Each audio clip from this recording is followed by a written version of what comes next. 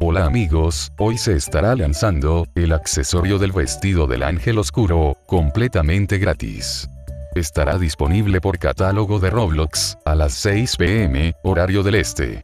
Aún se desconoce la cantidad de copias.